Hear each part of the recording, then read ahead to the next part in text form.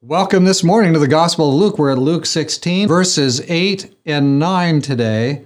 And this is the, the unjust steward. He's defrauded his master. He's, he's done, he's misused his funds. He's, he's messed up everything. The accountant is full of lies and error here. Now he comes and he, he brings to the master uh, his, his, his, the books, and it all seems to come out.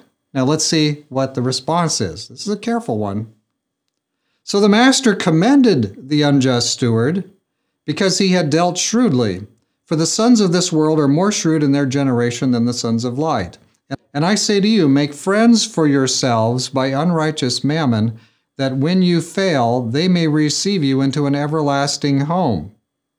Now we're going to give more response of his response tomorrow, but this is uh, what we have. The, the master looks at this and he says, hey, everything's in order.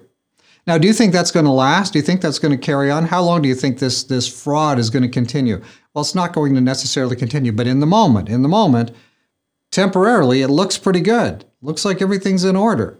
So this guy is going to continue. He says the sons of this world are more shrewd in their generation than the sons of light. Make friends of the unrighteous mammon. So, you know, make plans. In other words, God is not telling us to cheat people. He's not at all telling us that. He's telling us in this parable, these people are looking ahead. These people are planning out. They're planning what they can do.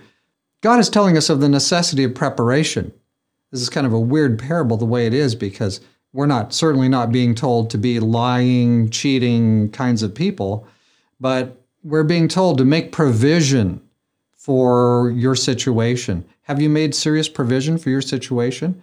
We don't know what's coming on this world. I mean, we do, but we don't know it immediately what's coming, what is particularly coming to your town next week, tomorrow.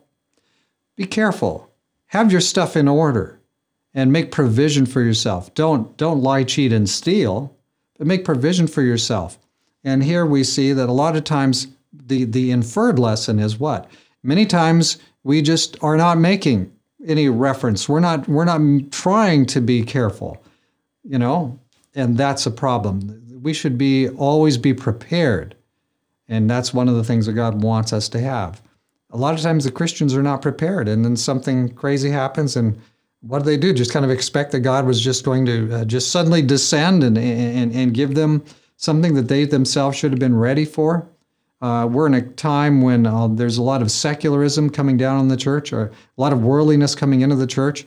Are we do we just expect that, oh, don't worry about it, it's going to be no problem. God's just going to make it all work. God has things that we need to be doing. And we need to be active. We need to be actually working on stuff. So let's be careful out there. Let's make provision for our situation because things are not going to be easy anymore. Let's pray. Dear Father in heaven, lessons today from this criminal and kind of a weird parable by Jesus.